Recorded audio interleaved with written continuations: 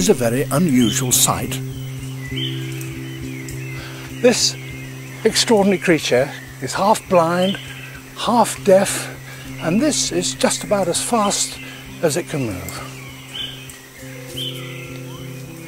That's what's going to happen to you if you live on nothing but leaves. It's not exactly an enthusiastic leaf eater. A couple of half-hearted chews and the leaves go straight down to its stomach. Any predator could attack it and it doesn't have the speed to escape. It's one animal that on the ground is almost helpless.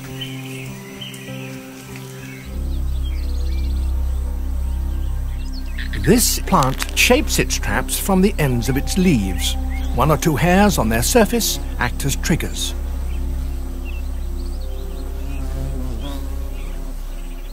Comes a meal. Touch the hair, and the trap is sprung. There's now no escape. It now produces digestive acids from glands on the inner surface of the leaf, which first kill and then dissolve its victim's body. They find so little nutriment in this impoverished, waterlogged soil that they supplement it with the bodies of animals. Animals don't eat it, it eats animals. So, with very little muscle, and a reaction time only a quarter as fast as ours, why it comes down in this way, and why does it nearly always choose to do so in exactly the same place, is a mystery. Nobody knows. But eventually, this slug cat pulls itself together and starts on a long and dangerous journey.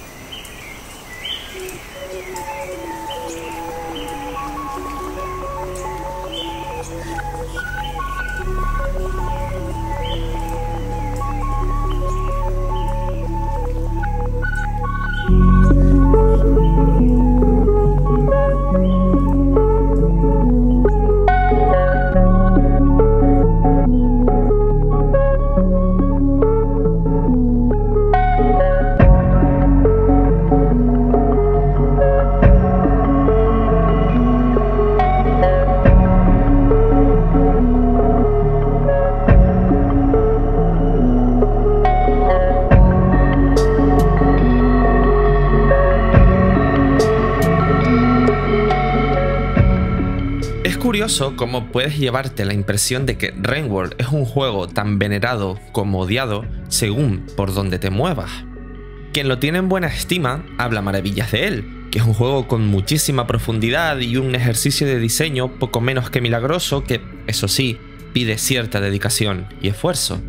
Del otro lado, sus detractores suelen tacharlo como un título opaco, incluso obtuso, en el que nunca es fácil saber qué tienes que hacer o a dónde ir, y que por ello es un juego injusto.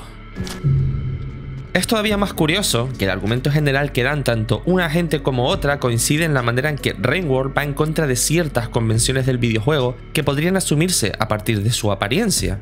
En concreto, suelen mencionarse la manera en que construye su mundo, el hueco que te tiene reservado en su interior, y cómo te comunica una y otra cosa, digamos, por las malas.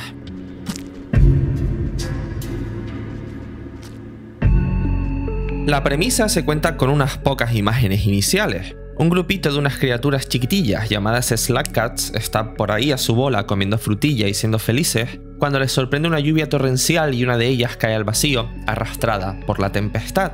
Justo después arranca el juego, te dan el mando y caes con esa criatura, o más específicamente caes en esa criatura. Emerges junto a ella por una esquina, te recibe la primera pantalla y a partir de ahí el mundo es tuyo para que lo recorras como quieras, pasito a pasito, con cuidado y temor, ágil pero desconfiada, como lo haría, entendemos, un Slack Cat.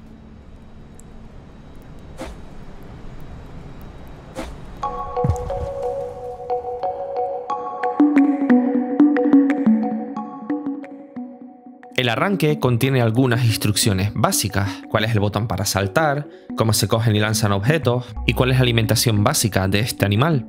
También te informan de las dos necesidades que tendrás que tener controladas durante toda la partida, porque te va la vida en ello. Una es que antes de que vuelva a venir la lluvia tendrás que encontrar un refugio donde hibernar, y la otra es que para poder hibernar deberás comer lo suficiente para sostenerte mientras el cielo se derrumba sobre la tierra. Después de este curso básico y acelerado no hay nada, o dándole una vuelta con algo de perversidad, lo hay todo. Todo el territorio desplegado y disponible, todas las rutas abiertas, todas las criaturas, los rincones y las posibilidades del mundo dibujando caminos ocultos. Un poco como ocurre en juegos como Outer Wilds o Gone Home, que si sabes dónde ir y qué hacer, te los puedes acabar en cuestión de minutos, pero en los que la primera partida se basa en una arqueología de sus espacio-tiempos, que desentierra sus historias, sus topologías y sus rutas hacia el punto de salida. Rainworld, no obstante, es algo más particular porque no tienes una dirección y un objetivo tan claros y explícitos cuando empiezas. En Gone Home el deseo de saber qué ha estado pasando en tu familia marca los pasos a seguir, y en Outer Wilds lo hace en tu estreno como astronauta nada más empezar, y las razones por las que ves explotar el sol en bucle durante el resto del juego. Si acaso, el impulso primordial en Rainworld podría ser la voluntad de reencontrarte con esa familia que el Slack pierde en la cinemática inicial, pero no tarda en hacerse evidente que sus problemas son mucho más inmediatos y crudos, aquello de comer y refugiarse para no ahogarse y después si tal, ir viendo. Así que comienzas a moverte y a explorar un poco, tanteando el terreno. Algo habrá por ahí que te guíe, en algún momento te darán un cometido o algo explícito hacia lo que enfocarte. Pero entre tanto, lo que no tardas en encontrar es la primera otra criatura, sin contar a las polillas esas que te enseñan a comerte al principio. Algún lagarto, una de esas enredaderas que se camufla como un poste, o si tienes una suerte pésima, una especie de mosquito gigante con un aguijón del tamaño de un sable. Te toque lo que te toque, es probable que esa otra criatura reaccione a tu presencia y se ponga en modo almuerzo, que la música de un giro tenso y quede claro que estás oficialmente en problemas.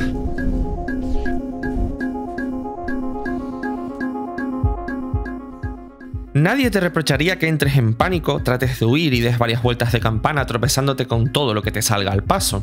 Pero aunque puedes escapar, no vas a poder esconderte hasta que te alimentes lo suficiente y encuentres un refugio antidiluvio. Así que no te va a quedar otra que enfrentar el peligro como buenamente puedas y que acabes comida, enriscada, empalada, electrocutada, estrangulada, dinamitada.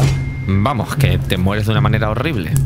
O al menos eso es lo que parece, porque darle al botón de continuar te regresa al último refugio para que vuelvas a salir a intentarlo, aunque sigas sin saber bien qué es eso que estás intentando. Y afuera, el mundo que te recibe en este regreso es el mismo y a la vez es muy diferente. Algunas cosas han cambiado de lugar. Las criaturas se han mudado a otra parte, las piedras y las lanzas que puedes coger para defenderte ya no están en los mismos sitios, y lo familiar no es que sea extraño, es que es directamente una ilusión.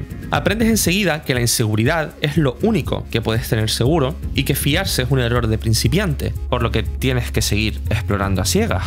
Caminar, investigar, luchar y volver a morir, una y otra y otra vez. Y si la cosa no va mal del todo, encuentras un nuevo refugio que hace de punto de control para toda esta muerte. Y te lo puedes tomar como un avance en medio del fracaso constante, pero sin dirección cualquier idea de progreso va a ser, como mucho, relativa. Vamos, que si hay algo que queda claro muy pronto es que es muy duro ser una Slack Cat.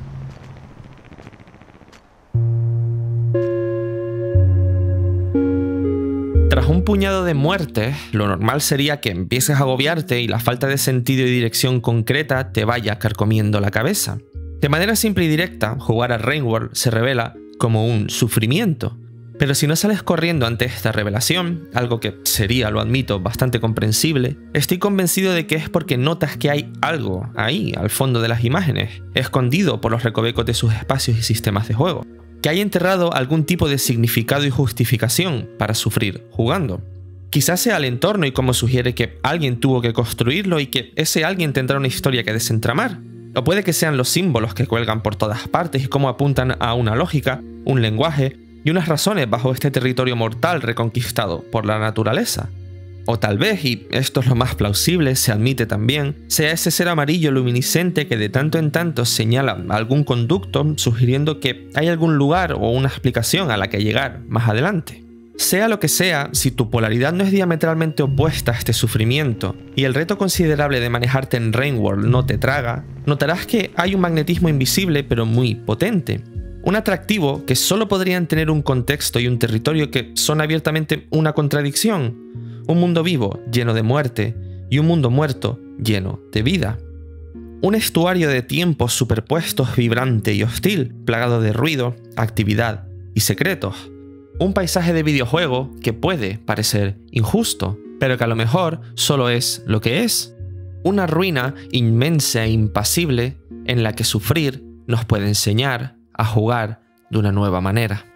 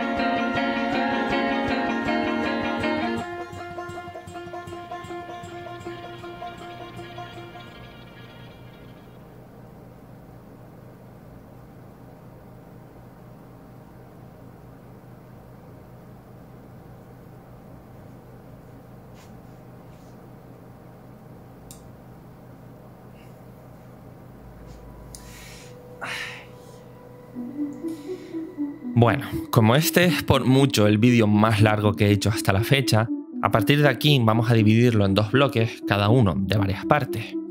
En el primero analizaremos Rainbow desde tres puntos de vista, el dónde, el cuándo y el cómo ocurre este juego. El segundo tendrá un corte más interpretativo y en él exploraremos la experiencia de jugarlo también desde diferentes ángulos, como el sufrimiento videolúdico, el protagonismo no humano, y la diferencia entre la ficción que fantasea y la que imagina, entre algunas otras cosas. Y como sé que he puesto así todo junto puede sonar a un lío importante, por eso vamos a ir poquito a poquito, al pasito, haciendo camino al hablar, como lo haría, entendemos, un Slack. Así que bueno, a partir de aquí empecemos a desenredar Rainworld por el dónde, por su lugaridad y por su condición de ruina.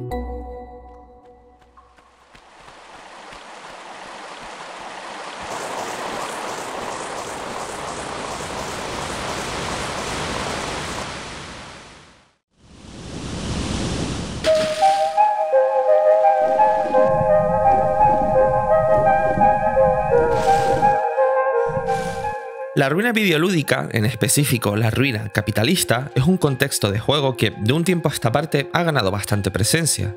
No hace falta irse muy atrás para tener un buen puñado de ejemplos diversos, como Death Stranding, Frostpunk, Bane, Cloud Gardens, Mutazione o Kentucky Road Zero. En 2022 hemos tenido Citizen Sleeper, Endling y Stray, de los que hablaremos en diferentes secciones de este vídeo y compararemos con Rainworld. Y el AAA cerró el año pasado con Decalisto Protocol y abre este con el remake de Space, que aunque no lo parezca, no son el mismo juego. Lo que quiero decir con toda esta ristra de nombres es que se nos están acumulando las ruinas videolúdicas de forma muy evidente, y la explicación más directa y superficial que se me ocurre para esta proliferación es un reflejo, o un síntoma si se prefiere, del espíritu de nuestros tiempos inmediatos. Bombardeadas día tras día con imágenes, noticias y promesas de un colapso global que siempre está muy cerca pero no termina de llegar del todo, el videojuego, en tanto arte y circuito cultural, media entre nosotras y el anuncio perpetuo de nuestra catástrofe, ya sea para invitarnos a reflexionar, para aliviar un poco el dolor o ni más ni menos porque es lo que toca. Y cuando jugamos la ruina lo hacemos en diferentes estados de la caída. La vemos ocurrir o incluso la provocamos, la habitamos tiempo después de su suceso y hasta hay ocasiones en que intentamos convencernos de que podemos evitarla. Pero explorar la ruina como contexto cultural nos lanza como contrapunto a un campo semántico hecho de grandes palabras que suenan fatal, a puro abatimiento y depresión. Cosas como capitaloceno, colapsología, poshumanidad, alienación, precariedad, un espectro amplio y diverso de amarguras.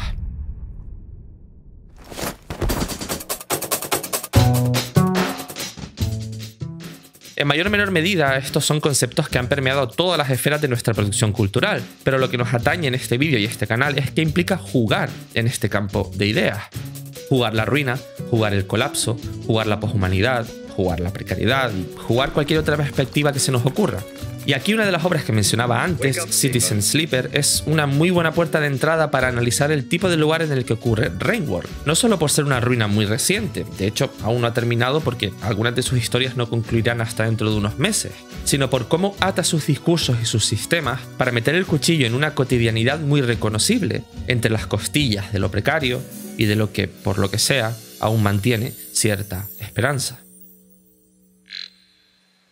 No quiero extenderme mucho porque este es un vídeo dedicado principalmente a Rainworld y además ya he escrito bastante sobre Citizen Sleeper, tanto en mi Patreon como en la crítica que le hice en nivel oculto, tienen los enlaces en la descripción.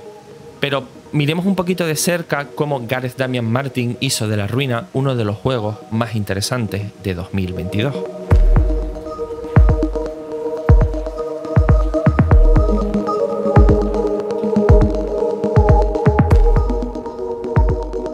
Citizen Sleeper ocurre en una estación espacial que se mantiene en marcha gracias a una mezcla de pura inercia y falta de alternativas. Allí el colapso, o mejor dicho, un colapso, ya ha pasado. El mayor colectivo productivo e industrial que organizaba el tránsito y la jerarquía de su capitalismo sideral hace tiempo que ya se ha venido abajo para cuando despertamos al inicio de nuestra partida, literalmente entre chatarra y basura. Lo que nos recibe es un colectivo de facciones que se entrelazan en una organización de poderes e influencias en una nueva era de, al menos en teoría, liberación sindical. Todo es mucho más complejo y enrevesado que esto, está claro, pero lo importante es que Citizen Sleeper, como buena ruina, es un lugar inestable en el que nos encajamos con un cuerpo, una identidad y unas necesidades igualmente inestables. Llevada al manejo directo, esta inestabilidad se traduce en un juego de dados. Cada día te despiertas y cuentas con una cantidad de tiradas que dependen de tu energía, tu integridad física y mental, y más que nada, de tu suerte. Desde ahí, y tal y como escribe Ryan Scott en su blog, la experiencia de Citizen Sleeper es una tensión constante entre el cuerpo y el turbo tardo capitalismo que te aplasta rutinariamente, tirada a tirada, arrastrándote por una decadencia impuesta para atarte a un bucle de supervivencia productiva, Jugar la precariedad en Citizen Sleeper es caer por tanto en la dependencia absoluta de esta producción. Trabajar para comer, para dormir, para medicarte, para investigar tu pasado, para ayudar a las demás si te piden que les eches una mano. Así que aquí la vulnerabilidad hecha juego es un tira y afloja con el azar en el marco de una lucha contra el determinismo de un sistema en el que nadie puede ganar sin que alguien a cambio pierda y equilibre la suma hacia el cero. Y como dije, no quería extenderme mucho con este juego, así que quedémonos con una idea importante antes de dejarlo atrás y continuar. La ruina es el lugar quinta esencial de la precariedad, pero la precariedad hace que cualquier contexto se viva como una ruina. El éxito y la autonomía en Citizen Sleeper son relativamente posibles a nivel individual, pero lo verdaderamente difícil y el sueño roto de su revolución es la emancipación colectiva. Pero bueno, por ahora regresemos a Rainbow, que ya toca, y adentrémonos en lo concreto de su ruina.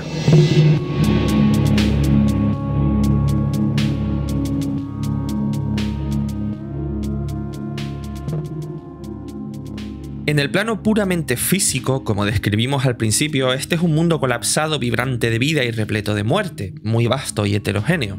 A medida que avanzamos descubrimos variaciones, diferentes biomas y encuentros entre las dos constantes que conforman su esencia espaciotemporal. Una masa de infraestructuras artificiales que perdieron su esplendor hace no se sabe cuántos años, pero muchos, y una naturaleza exuberante que ha reconquistado hasta el último rincón que el acero y el hormigón le colonizaron en ese tiempo remoto. La tecnología abandonada hace de sostén a una nueva etapa de crecimiento frondoso y salvaje, y el resultado es una ruina de capas muy visibles, una historia con mayúsculas que se lee literalmente de abajo arriba a medida que la transitamos. En lo profundo, el abismo, las cuevas, los depósitos, la oscuridad, el detrito de una civilización primigenia largamente olvidada.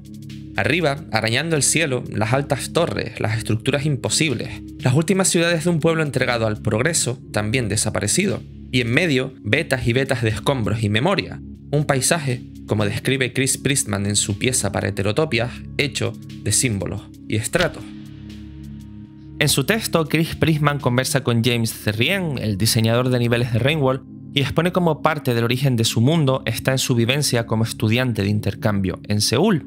En concreto, alude a la experiencia de alienación en un entorno cuyo lenguaje, normas, signos e historia no se conocen, Una alienación que está finamente cosida a ese recibimiento opaco y hostil de Rainwall con el que abríamos este vídeo, y que es a todas luces la fuerza antagonista que debemos enfrentar a lo largo de toda la partida. Un oponente invisible, impersonal e ilocalizable que solo se expresa por cómo nos desorienta, nos descoloca y nos hace sufrir.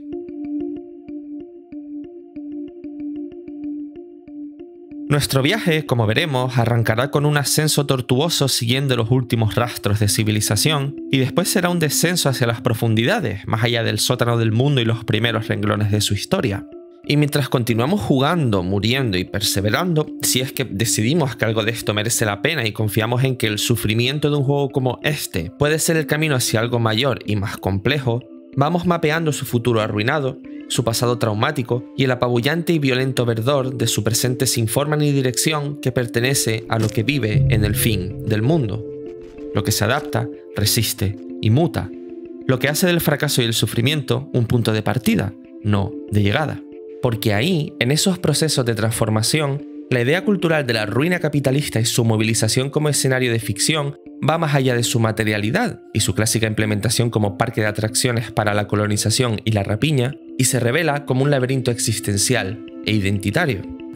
Y todas estas líneas confluyen en lo que ya he dicho que me interesa a mí particularmente en este y en otros vídeos, que no es solo la ruina como tal, sino la experiencia de jugarla, y en especial cómo podemos enfrentarla desde la búsqueda de otras formas de ser y estar en los juegos, y por extensión, en el mundo y la realidad, si acaso jugar en y con el colapso puede inspirar concepciones alternativas de las relaciones entre la jugadora y sus juegos, entre la humanidad y su entorno, y darnos nuevas herramientas para enfrentar esas dudas cada vez más asfixiantes en estas vísperas del apocalipsis anunciado.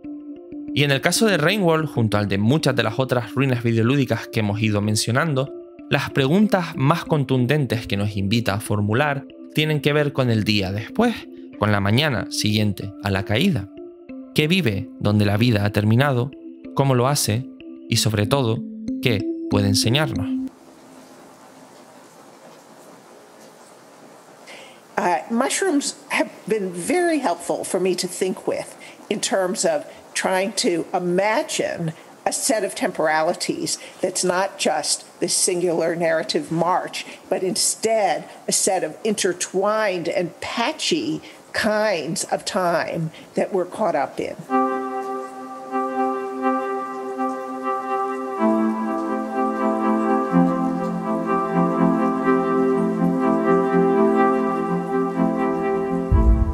Es nada fácil responder a estas preguntas, principalmente porque no tienen unas respuestas que podamos seguir pretendiendo que los seres humanos contenemos dentro de nosotros mismos.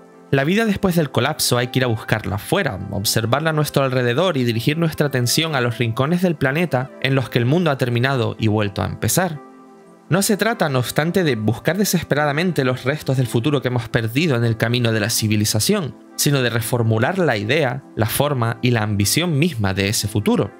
Y aquí es donde me gustaría apoyarme en las teorías de la antropóloga Anna Lowenhaupt-Singh, particularmente en su libro The Mushroom at the End of the World, en el que tantea las posibilidades de la vida en las ruinas del capitalismo. Un estudio sobre cómo las setas pueden enseñarnos a repensar nuestros encajes y papeles en los ecosistemas que habitamos, a atender nuestra interdependencia y continuidad con una red de seres vivos y no vivos que nos sostienen materialmente por debajo de nuestras fantasías de superioridad y un libro que, por ampliar la coyuntura, también está en las referencias e inspiraciones que cita Damian Martin en algunas entrevistas sobre su Citizen Sleeper.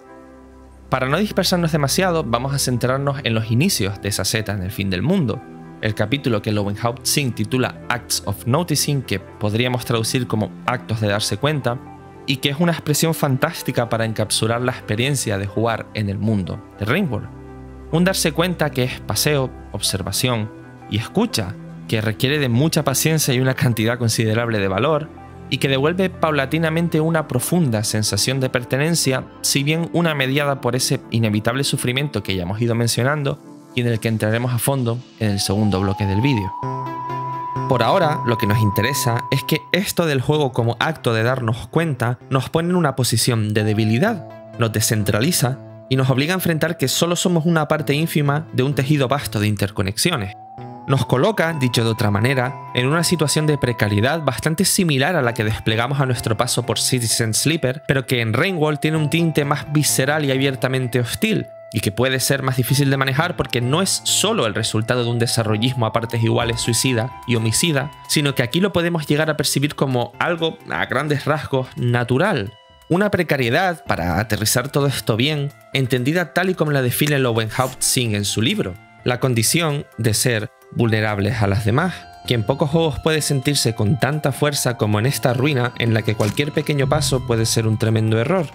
Y esto, claro, puede ser muy incómodo en el plano fundamental de lo que supuestamente es jugar, porque empezar Rainworld, caminar un poco y caer enseguida en un bucle de muerte y continuación que parece no tener fin es algo que, puedo entenderlo, no suena disfrutable a priori.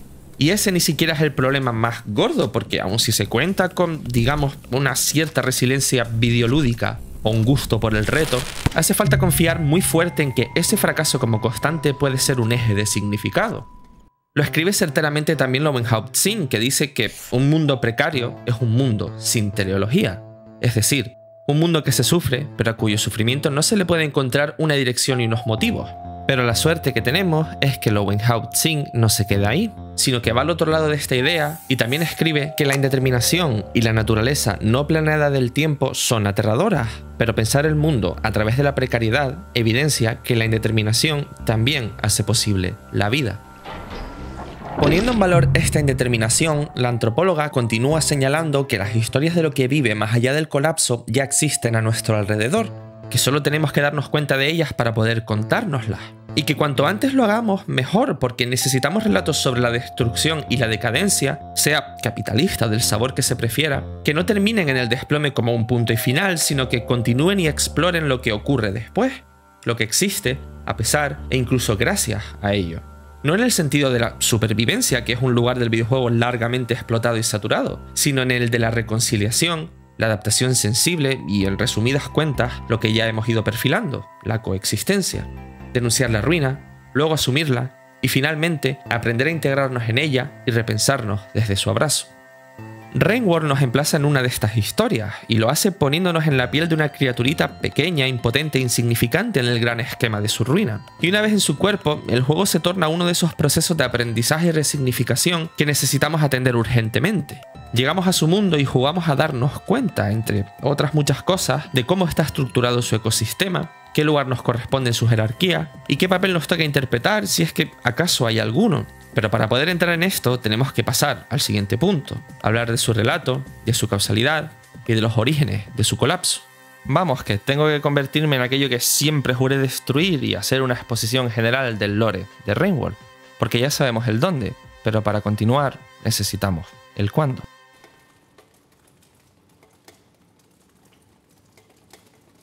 Antes de tirarnos al pozo, me gustaría hacer un apunte más allá de la broma. Suelo hablar y escribir mucho de esta tendencia a descifrar, catalogar y racionalizar las ficciones, sobre todo las videolúdicas. Y aunque no tengo nada en contra de esto porque me parecen una forma como cualquier otra de consumir un relato, sí que creo que habitar la imprecisión tiene más interés que el esfuerzo por hallar cualquier claridad y atar todos los cabos. Lo introdujimos antes junto a Lowenhaupt Singh. La indeterminación es un espacio mucho más rico de posibilidad que nos pide atender más y mejor en un doble sentido como actividad y como actitud, y pese a que a esta indeterminación en Rainworld es una fuente de sufrimiento, perseguimos el convencimiento de que también lo es de sentido y de significado. El desconocimiento y las enormes dificultades para entender el mundo están cosidas a nuestra identidad y son una parte fundamental de la textura de esta experiencia. Somos, al final del día y con todas las consecuencias, un Slack Cat, una criatura ínfima. El reto y lo difícil en definitiva están en manejarnos en esa forma de estar en el juego, porque querer ser y saber más es inevitable, pero la dificultad conceptual y la interpretativa no tienen mucho recorrido si se manejan como la manipulativa o la performativa. No es como matar un jefe muy chungo o como alcanzar la epifanía del puzzle aunque puedan manejarse de manera similar, sino que tienen que ver más con los procesos que median mientras lidiamos con ellas. Y aunque en Rainworld eso de saber más se convierte en una oportunidad explícita de la que hablaremos hacia el final de este vídeo, nunca es verdaderamente una necesidad. Podemos seguir una línea más o menos recta hacia la escena final sin pararnos nunca a descifrar ninguno de sus enigmas y el juego funciona igual de bien. Saber solo colorea ligeramente la experiencia, porque un Slack Cat que entiende no deja de ser un Slack Cat. Y esto, lo veremos más tarde, es lo que nos hace sufrir, pero también es lo que nos sostiene. Eso es, en definitiva, el juego. Pero a lo que íbamos, el lore. Lo más importante que hay que tener en mente para empezar es que en el mundo de Rainworld toda existencia está atada a un bucle de reencarnación, un ciclo constante de muerte y renacimiento en el que es imposible encontrar lo que podríamos llamar una muerte verdadera. Hace mucho, mucho tiempo, unos seres que llamaremos las ancestrales empezaron a ver esta especie de inmortalidad como una condena, y poco a poco fueron cayendo en el convencimiento de que sus vidas estaban encerradas en un absurdo sin dirección ni sentido. Conscientes de esta decadencia, las ancestrales se dedicaron en cuerpo y alma a buscar una manera de romper el ciclo de reencarnación, un proyecto al que pusieron el nombre de trascendencia. Al principio, la forma que idearon las ancestrales para trascender fue un ascetismo tremendamente rígido, basado en unas pocas leyes y virtudes que les pusieran en el camino de una transición paulatina. Dejando atrás las ataduras materiales, aspiraban a disolverse poquito a poquito a cada regreso, hasta que no quedase nada. Este plan tenía alguna que otra fisura y escondía en el fondo una contradicción que las sesudas y existencialistas ancestrales no podían ignorar. El ascetismo trascendental se basaba en el deseo muy fuerte de no tener ningún deseo. Posible quizás para unas pocas elegidas, pero no como un método generalizado. Pasado cierto tiempo, en medio de su resignación, las ancestrales encontraron el mar abisal en las profundidades del mundo, una masa inmensa de abismo líquido que disolvía todo lo que tocaba, como un acuífero de lo contrario a una sopa primordial, y aprendieron a usarlo como fuente de energía. Así que lo que siguió fue todo progreso, crecimiento y evolución. En medio de esta revolución abisal, las investigaciones sobre el abismo líquido revelaron que la disolución que provocaba era absoluta, un destierro total del reino físico. Quienes adentraban demasiado en las profundidades no regresaban, y en esta desaparición perpetua las ancestrales encontraron algo que, si no lo era, se parecía mucho a su deseada trascendencia. Pero había, como no podía ser de otra manera, un problema. No era un proceso 100% fiable, en concreto porque el abismo líquido no podía disolver a quienes tenían el ego demasiado hinchado o un gran apego a lo terrenal, y el riesgo de nadar en el mar abisal en estas condiciones era el de deformarse en una extraña abominación atrapada entre planos de existencia, esos ecos de eternidades suspendidas que podemos encontrarnos en ciertos lugares de Rainworld.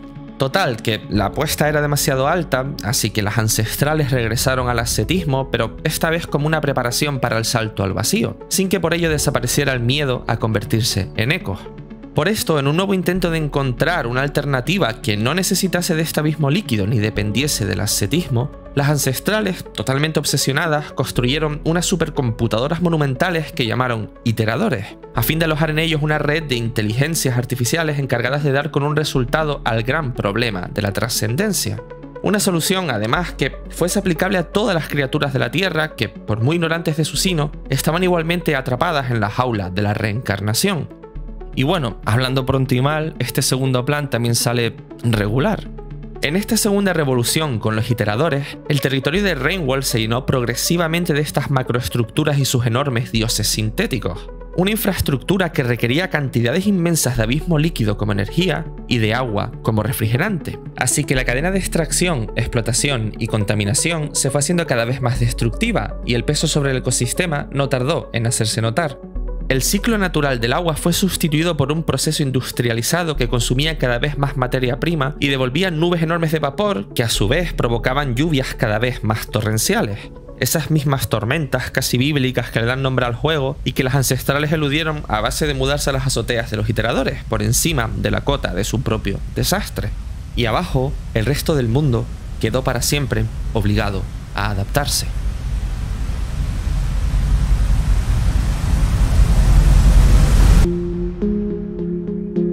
En plena debacle ambiental, los iteradores, en ejercicio de autoconciencia, entraron también en contacto con su propia absurdidad. Aunque lograran despejar con éxito la ecuación de la trascendencia, ellos serían los únicos que se quedarían atrás, poco más que un puente para el resto de seres del planeta.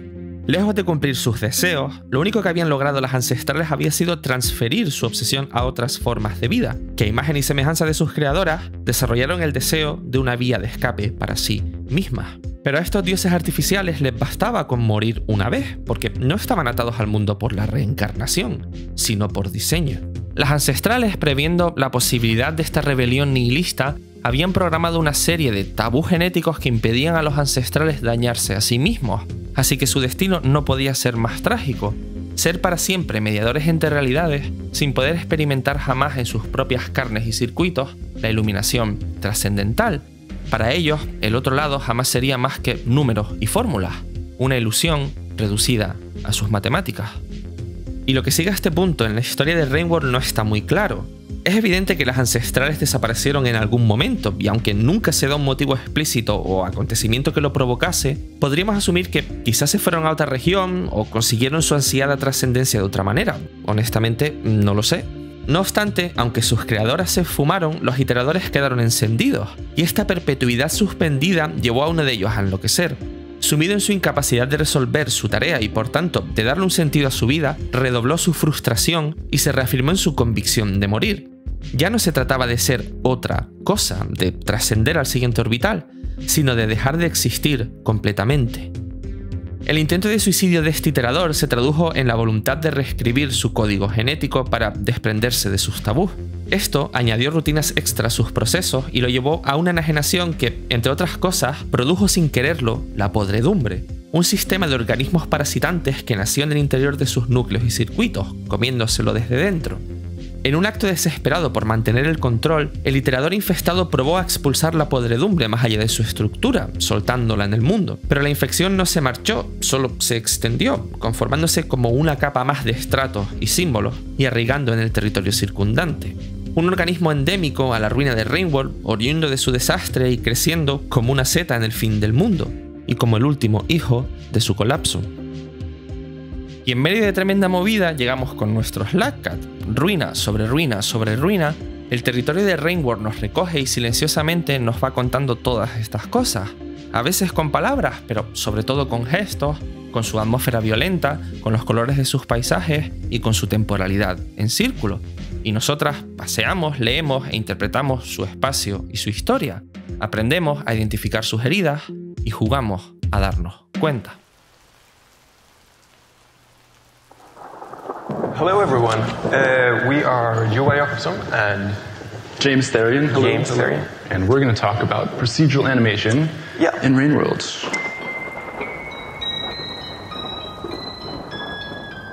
Nos queda ahora hablar del cómo.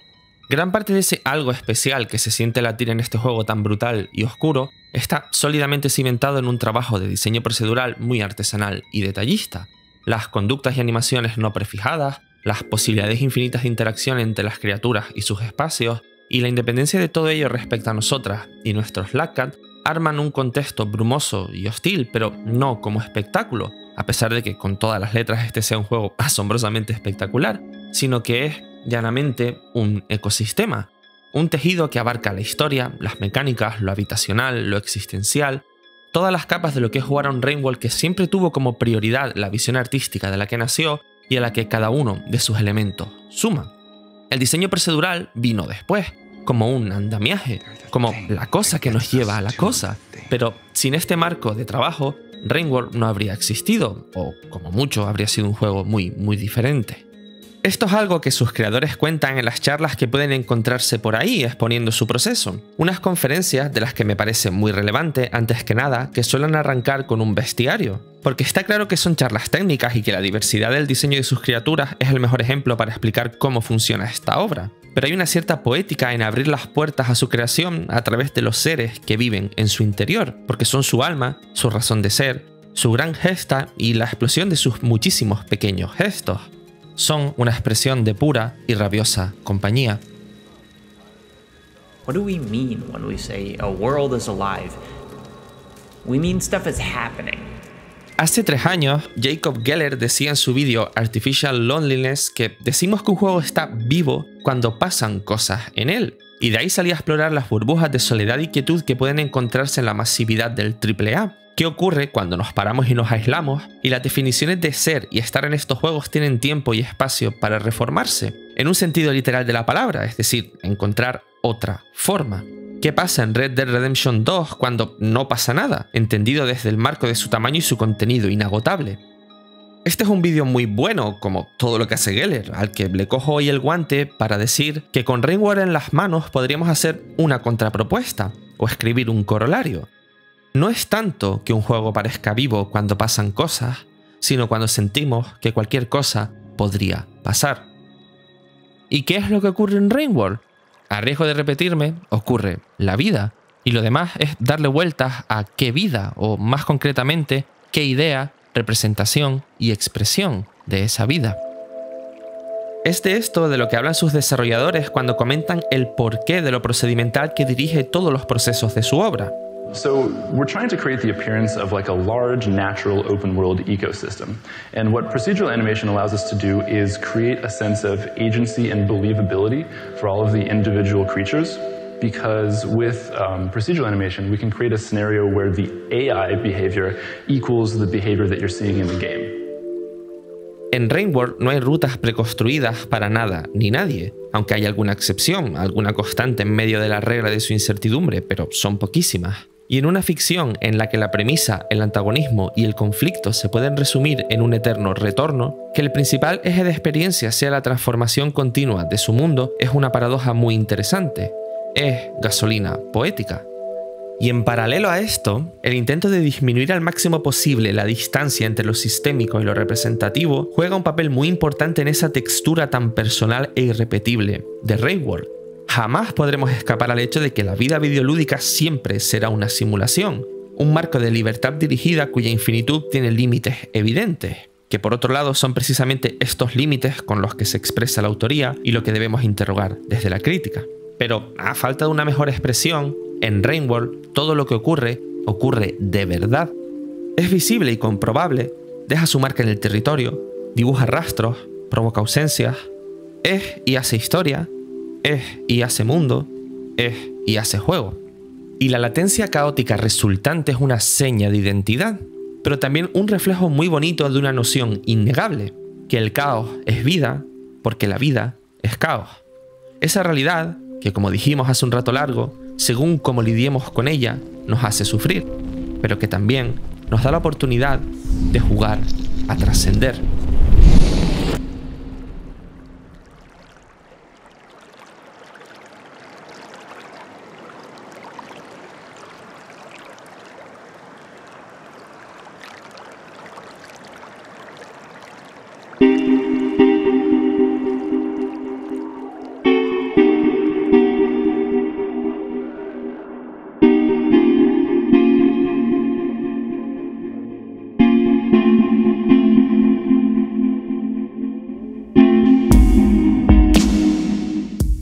Dinámica básica de Rainwall es bastante sencilla. Ya la hemos comentado por encima, pero el bucle jugable puede reducirse a salir de un refugio, alimentarnos e intentar no convertirnos en comida para otras criaturas, y rezar para que no nos pille la lluvia. Alrededor de estas constantes hay un sistema de karma, en el que cada vez que hibernamos subimos un escalón y por regla general siempre que morimos ocurre lo contrario, bajamos un nivel. Las puertas que separan los diferentes sectores de Rainworld necesitan cantidades mínimas de este karma, que varían en función de la frontera, así que si llegamos a una que no se abre, podemos dar un rodeo hasta encontrar otra de nuestro nivel o pasar unos ciclos subiéndolo. No hay en superficie mucho más, correr, saltar, escalar, pelearte si es muy necesario, recolectar comida y refugiarte. Y lo dijimos antes también, esta es una rutina difícil, dura y a menudo tildada de injusta, pero ahora que tenemos un conocimiento más o menos general del mundo de Rainworld, de sus antecedentes y de su diseño, podríamos justificar la aspereza como un acto de coherencia. Vamos, que un territorio como este, tan demacrado y asolado, solo podría ser despiadado y hostil, y que Rainworld es un juego difícil porque su mundo es difícil, pero lo de injusto ya es harina de otro costal. Diría aquí que esta es una palabra que apela antes que nada a una de esas normas no escritas del videojuego, especialmente esos que están basados en la habilidad y la ejecución, como según se mire este podría ser el caso. Porque una obra puede ser difícil, incluso severa, pero jamás puede ser injusta. Y aquí mi siguiente pregunta, y con la que ya pasamos a centrarnos en lo experiencial de Rainwall, es simple y directa, porque parece innegable que este es un juego que se sufre, pero ¿de qué hablamos cuando hablamos de sufrimiento y de injusticia en un videojuego?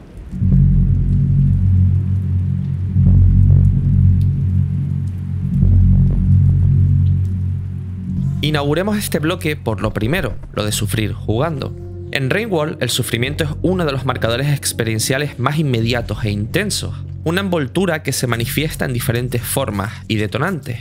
Sufrimos como Slackcat por la premisa, la pérdida de la familia, la caída, la soledad repentina, absoluta y mortal.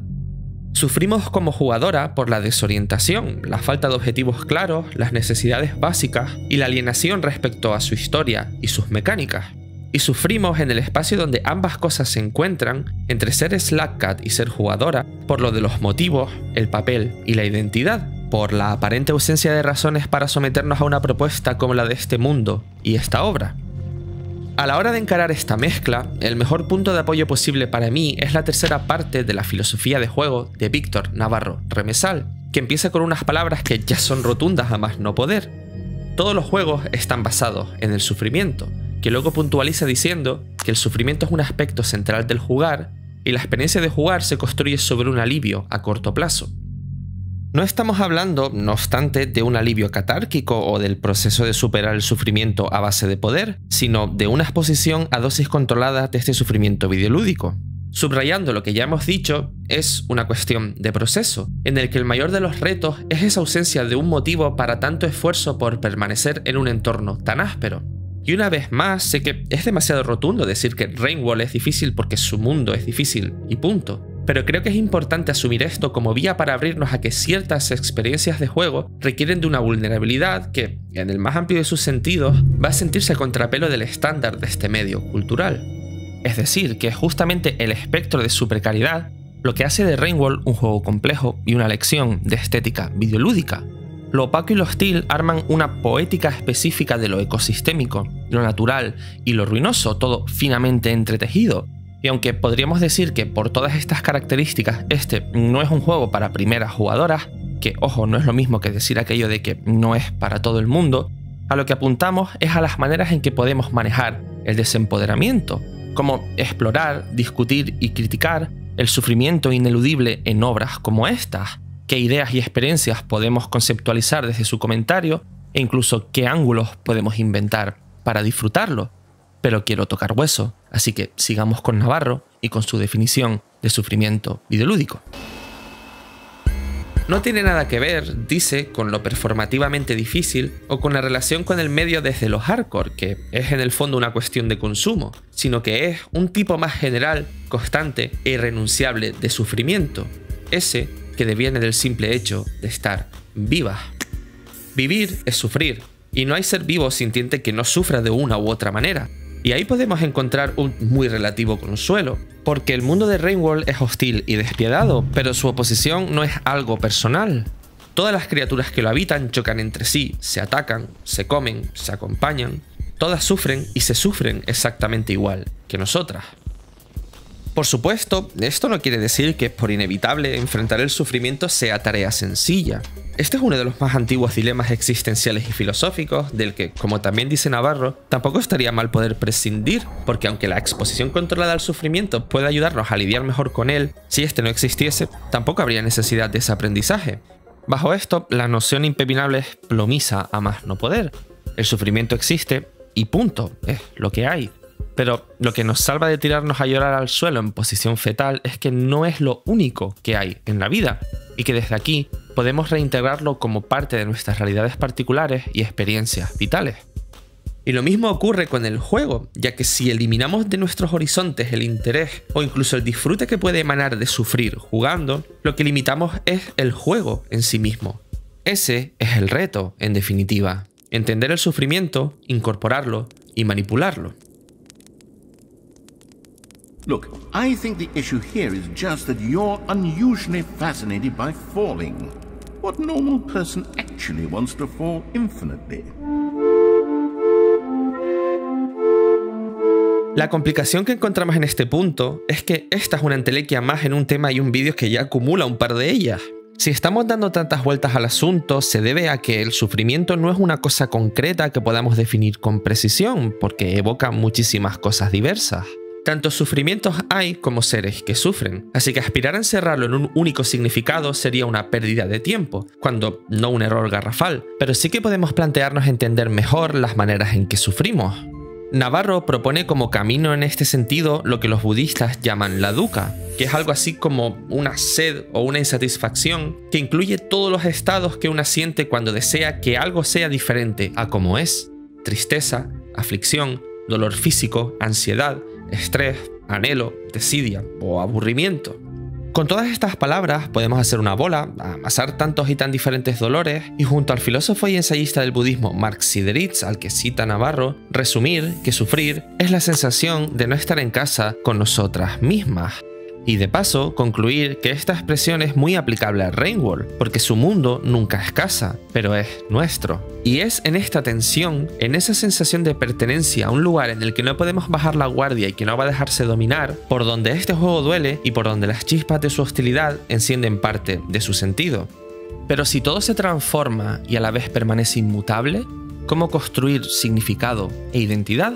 Cómo superar el vértigo de cambiar incesantemente sin llegar jamás a ningún estado concreto. Podemos intentar responder con una última idea extraída de la filosofía de juego de Víctor Navarro, que escribe que cuando el sufrimiento videolúdico se maneja desde la vulnerabilidad, se experimenta como una experiencia voluptuosa, algo que nos envuelve, nos abraza, nos influye e incluso nos dirige y algo también que aglutina todas las capas de la textura de este Rainbow en el que no hay un estado claro de victoria y por tanto tampoco una condición estricta de derrota, a pesar de que derrota puede ser todo lo que sintamos durante nuestra partida, ya que podemos devolver el abrazo al sufrimiento, pero ya comentábamos antes que nunca vamos a poder abandonar completamente el deseo de transformar nuestro conocimiento de la ficción y sus sistemas, ni de racionalizar nuestra experiencia del sufrimiento en sí mismo. Digámoslo pues así, lo que nos mueve con más fuerza es la búsqueda de ese porqué que es capaz con cualquier cómo. Esta es una obra sobre el sufrimiento y la trascendencia que se juega a base de sufrir y trascender. If you're not ready for that, like if you've already had a bad day, then what you're about to go through might be too much.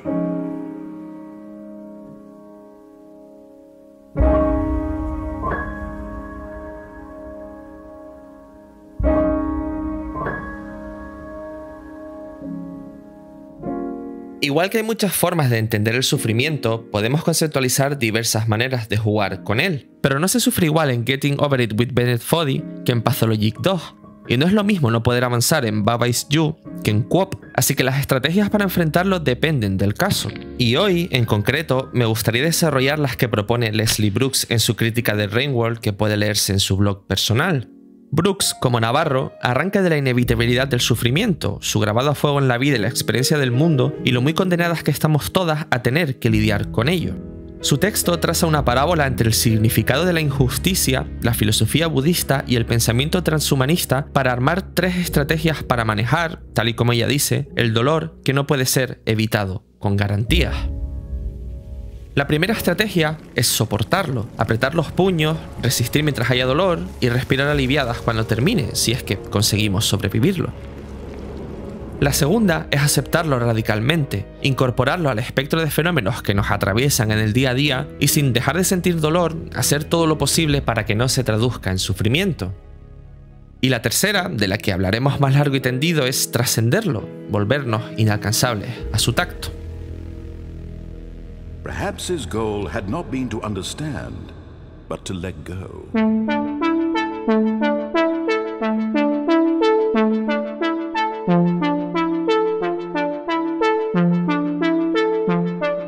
La estrategia de soportar el dolor es bien conocida por todas nosotras. Al fin y al cabo es la resignación, el tirar hacia adelante con la esperanza de que lo que hace sufrir se supere, se desvanezca o incluso nos lleve a algún tipo de recompensa material o emocional.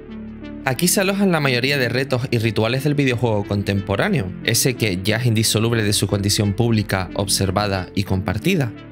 En cuanto a lo segundo, lo de la aceptación, el anclaje también budista de Brooks la lleva a proponer un sufrimiento que deviene de las ataduras a ciertos resultados a la vida, por lo que dejar ir esos deseos es un camino para dejar de sufrir. Llevando esto a la crítica de Rainbow, que juro que no se me ha olvidado que es el tema central de este vídeo, podríamos usar este enfoque para desmenuzar la dificultad de su entrada. Digamos que el sufrimiento y la desorientación que nos recibe puede ser superada a base de pura aceptación, que aquí significaría liberarnos de lo que esperaríamos de un juego con esta apariencia y de los lugares comunes de lo que implicaría, a priori, jugarlo. Porque en buena parte son esos marcadores por defecto los que convierten la hostilidad y la vulnerabilidad que nos encontramos en dolores, en ataduras, en impedimentos para ir más allá de una idea de disfrute demasiado rígida y controlada por factores y entidades externas. La aceptación, como resumen, requiere deshacernos de nuestros deseos habituales por entenderlo todo, por ocuparlo, por arreglarlo y por poderlo. Requiere dejar de esforzarse y por tanto, pese a su interés y creo necesidad, no deja de atraparnos en la misma paradoja que habita al fondo del espacio y el tiempo de Rainworld, aquello de esforzarse mucho en no esforzarse que no terminó de funcionar para las ancestrales. ¿Podemos existir sin apego si estamos apegadas a una existencia sin apego? ¿Es posible esperar no esperar nada? ¿Cómo se desea no tener deseos? No hay, o yo no tengo, soluciones para estas cuestiones, al menos no en un sentido rotundo y definitivo. Pero es que de eso va Rainworld. Es su indeterminación fundamental, el nivel cero de su sufrimiento. Esto es, otra vez, el juego. Por ello, en el reconocimiento del poco recorrido y el peligro que tiene lo de soportar el dolor y la imposibilidad de su aceptación plena y absoluta, la tercera estrategia de Brooks es la que más resuena con este juego. Trascender el dolor, el sufrimiento, la aporía, la vulnerabilidad, todas esas palabras supuestamente negativas que hemos estado manejando. Y aquí nos enmarcamos en el choque entre el deseo irrefrenable de que las cosas sean diferentes a como son y la imposibilidad de cambiarlas desde lo individual, hasta el punto en que el mero hecho de intentarlo puede convertirnos en parias. Todos los días lidiamos con situaciones de este tipo, como el cambio climático, las guerras y las carreras armamentísticas, el capitalismo o la evolución en la era del antropoceno. Y de entre todas, esta última fuente de sufrimiento está en el origen de coordenadas de Rainworld, y para desarrollarlo podemos seguir con Brooks. La autora escribe que todas las especies vivas pueden autorreplicarse y están conductualmente optimizadas para sobrevivir, porque si no fuera así, habrían sido superadas por criaturas que sí lo estuvieran. La evolución podría haber dado forma a la vida para que solo se sintiera placer, pero los animales que sentían dolor en las situaciones adecuadas eran más capaces de sobrevivir a los que no lo sentían, y así evolucionó tanto nuestra capacidad para el dolor. Desde el primer segundo en Rainwall caemos en un proceso análogo a esta idea de la evolución. Es nuestra capacidad para soportar dolor, nuestra resiliencia ante el sufrimiento videolúdico, lo que nos puede llevar a persistir, es una combinación de voluntad y capacidad lo que nos puede llevar a acercarnos a este sufrimiento desde la posibilidad de aceptarlo, de encontrarle sentido e incluso de disfrutarlo, aunque aquí, ojo, hay peligro de caer en un determinismo capacitista. Pero solo desde la posibilidad de trascenderlo podemos transformar radicalmente nuestra relación con él, cambiando el mundo y cambiándonos a nosotras mismas en el proceso. Puede sonar farragoso, lo sé, así que descendemos a un punto anterior, aquello de que Renwell es a menudo visto como un juego injusto. Enfrentadas tanto dentro de esta obra como en la vida entre comillas real a la naturaleza, la evolución y la supervivencia, diríamos que son estas fuerzas que nos envuelven algo cruel. Resumiendo al extremo, no. Entre otras cosas, como dice Brooks, porque la evolución y la moral son fuerzas completamente ortogonales, ni siquiera están en el mismo plano. La evolución es un mecanismo, una lógica, una causalidad que nos conduce a una conclusión que, ya no es sorpresa, duele. Si sufrir más nos puede ayudar a sobrevivir a las demás, el sufrimiento es un motor existencial. La moralidad, por su lado, pertenece más al terreno de la lidia, el encuentro y la coexistencia, una intersección donde el deseo de no sufrir se encuentra con el de no provocar sufrimiento, la conclusión a la que podemos llegar con esto es que no se trata de causas o culpas, sino que es nuestra capacidad para sentir dolor lo que es malo en el mundo.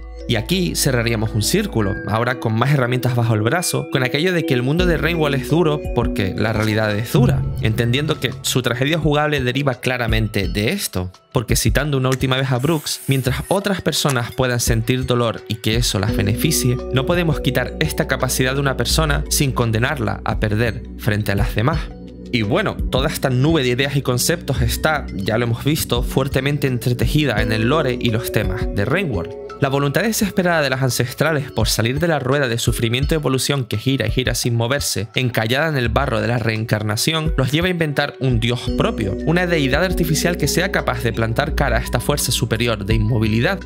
Eso son los iteradores, unas superinteligencias diseñadas para despejar el sufrimiento de la ecuación del mundo con la potencialidad de entender y controlar cada átomo de la realidad y reconducirlo desde el dolor hacia la felicidad de la trascendencia. Y en una escala conceptual y existencial tan inmensa como esta, nuestra insignificancia se redobla. No lo olvidemos, somos un Slack Cat, poco menos que nada, una mezcla de gato y babosa. Una criaturilla que come, duerme y sobrevive a los muchos peligros del mundo, a todas esas otras existencias que intentan ganarle en el juego del sufrimiento sin más objetivo que perdurar. Así que, ¿qué puede significar algo tan abstracto y grandilocuente como la trascendencia para un ser tan ínfimo y concreto?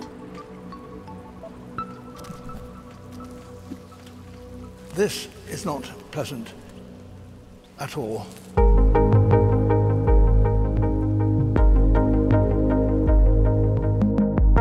Entremos a esta nueva duda por lo más básico y evidente.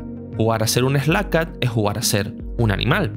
Nada nuevo aquí porque juegos con protagonistas no humanos en general y animales no humanos en particular ha habido desde siempre, y el espectro de propuestas que podríamos cubrir con ellas ocuparía, en fin, la totalidad de la historia de este medio.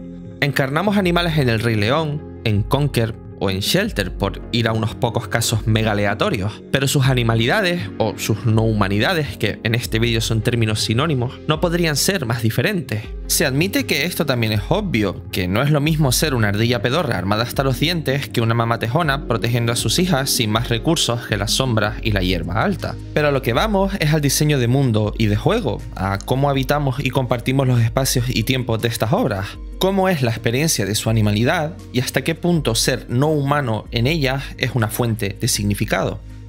Así que para focalizarnos más y que nuestra horquilla comparativa no ocupe medio siglo de producción cultural, vamos a limitarnos a poner Rainworld al lado de dos títulos publicados recientemente que nos acotan un espectro al mismo tiempo muy enfocado pero bastante amplio sobre esto de jugar animales, Endling y Stray, dos juegos que cuando salieron y tuvieron su puñadito de atención, no era difícil encontrar por ahí comparados con Rainbow. Endling es una obra con cierto carácter aleccionador, un juego sobre ser testigos de la debacle ecosistémica de la macroindustrialización capitalista sin poder hacer nada por evitarlo, solo sufrirlo, muy en la línea de lo que decíamos antes de los límites a la capacidad individual ante problemas globales y de escala planetaria. Un título, para no irnos por las ramas, muy cercano a un ejercicio de retórica procedural, con un mensaje ecologista muy evidente que se esfuerza en comunicar con claridad, aunque a su denuncia le falte un poco de esa ventana abierta al día después. Aquello de Lowenhaupt-Singh y la Z en el fin del mundo, de que necesitamos ficciones que no se queden en el apocalipsis y que entren en las posibilidades de lo que luego sigue viviendo. En Endling los acontecimientos ocurren al fondo, con la suma de los días, y la tragedia va conquistando nuestros alrededores mientras solo podemos asistir al desastre. Soportamos, siguiendo el guion, el dolor de ser una familia de zorros en un bosque contaminado y colonizado, y seguimos hacia adelante hasta que todo termine, con más fe que esperanza en la supervivencia, pero no nos queda otra.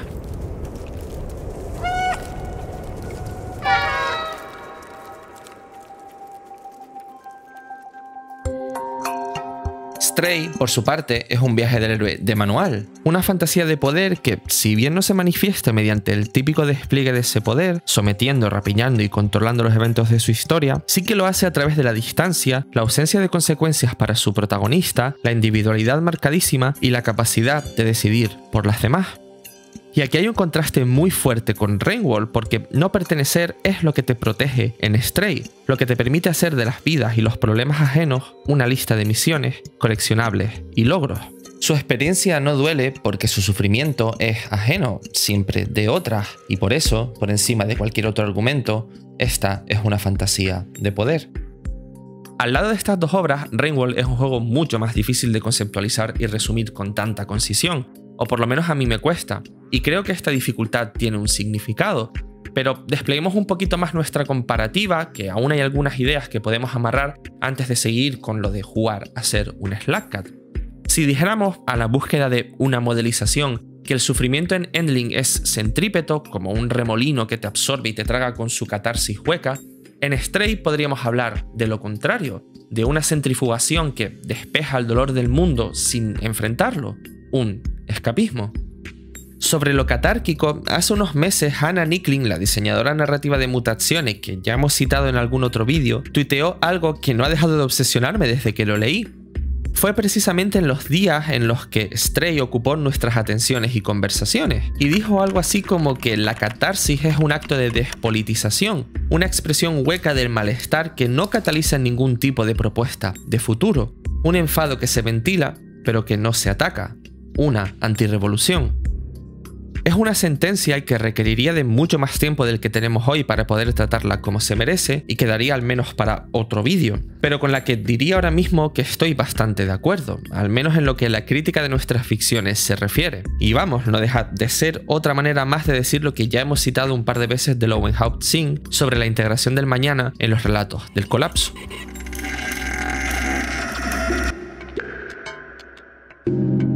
Sobre el escapismo de Stray, por otro lado, también ha escrito antes y mejor que yo otra persona. Ed Smith en su columna regular para Unwinnable publicó en esta misma coyuntura una pieza titulada Misantropía, bastante beligerante y algo ácida, en la que critica tanto esta obra como su abanderamiento del videojuego wholesome y conmovedor por cómo fue propuesto y recibido el juego mono sobre ser un gato. Porque bajo lo cookie, la animalidad escapista de Stray es una humanidad que finge ser gato, pero se comporta como siempre lo ha hecho en tantos y tantos videojuegos, haciendo turismo por contextos y vidas ajenas vaciadas de toda complejidad fantaseando con la trampa de hacer coincidir los intereses individuales con los anhelos colectivos. Ser un gato, y ya que estamos, liberar a los pueblos. Algo que solo puede armarse y jugarse realmente mediante la simplificación y la reducción de lo que pueda implicar encarnar un gato a ser una criatura mona a la que nada puede afectarle y envuelto en aquello que dijimos antes de que no pertenece al lugar en el que jugamos. Y ahí no hay mucho margen posible para la reflexión, solo para la huida. Stray es más un escondite que un parapeto, una obra que puede aliviar los síntomas del dolor de existir en nuestras ruinas capitalistas, pero que tiene el problema de que aquí fuera esos escombros siguen prendidos fuego, y el videojuego, como cualquier otro arte, siempre regresa a esa realidad de la que parte, así que rehuirla no nos lleva a nada. Por más que podamos desearlo, no hay círculos mágicos. El buen videojuego enfrenta el mundo, no huye de él. Entre la catarsis y la huida, uno de los elementos que más nos interesan en este triángulo comparativo es la presencia que tiene la humanidad en sus respectivos contextos, o en su defecto, la presencia de su ausencia, que es un concepto que tratamos en la trilogía que le dedicamos al vacío videolúdico en el podcast Mochila de Juego, enlace también en la descripción. Endling retrata a la humanidad como una catástrofe autodestructiva, un terreno baldío en el que no hay futuro posible, cuyo destino es convertirse en desierto de sí mismo. Allí hay quienes nos ignoran, quienes se sorprenden de vernos, pero sobre todo hay quienes nos persiguen y nos matan. La humanidad es claramente culpable de que perdamos todo lo que tenemos a medida que pasan las horas de juego, así como de aplastar a quienes en medio de la vorágine intentan mirar a su alrededor, dar un paso atrás y poner en práctica aquello de darse cuenta.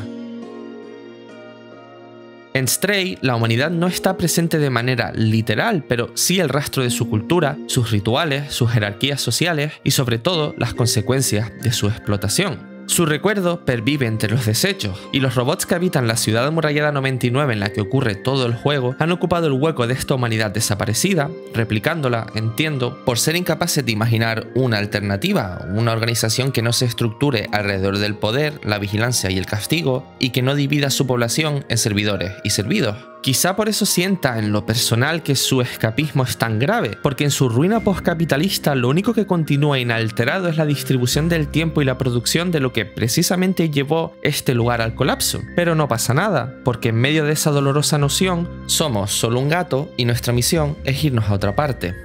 O puede que sea todo relativamente más sencillo y se trate simple y llanamente de esa idea fundamental en la columna de Smith, que el escapismo visto desde la óptica de su tráfico, su producción y su consumo implica que hay algo de lo que deberíamos querer escapar. Y me reitero, pesadísimo lo sé, pero el juego no es eso. Solo creemos que sirve para escapar porque nos lo venden como tal.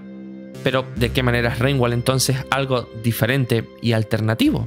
Mm, bueno, siendo honestas, podríamos decir que su premisa es la misma que la de Stray, que al principio perdemos nuestra familia y el ímpetu que nos pone en marcha es reencontrarnos con ella, y que su desastre, en tanto ya ha ocurrido y somos aquella cosa insignificante suspendida entre eternidades y dioses artificiales, está tan lejos de nuestra comprensión e influencia como en Endling. Pero para mí, lo que trasciende, valga el uso de la palabra, no son estos detalles, ni siquiera la manera en que manejamos directamente a la criatura de turno, en este caso el Sino cómo esta está encajada en el tejido de coexistencias que la rodean y cómo esa red se utiliza para estructurar toda la experiencia.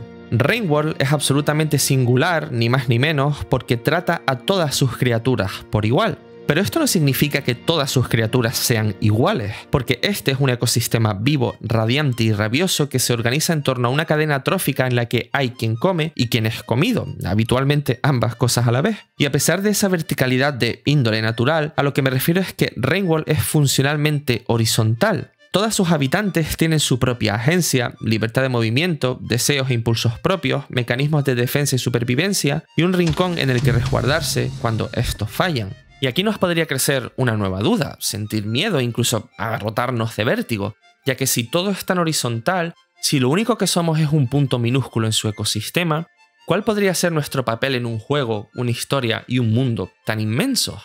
¿Hay algo más en Rainwall que la exposición a un sufrimiento injusto y voluptuoso? Bueno, sí y no, pero del sufrimiento creo que ya hemos hablado mucho, así que avancemos hacia las profundidades de lo voluptuoso y de lo injusto.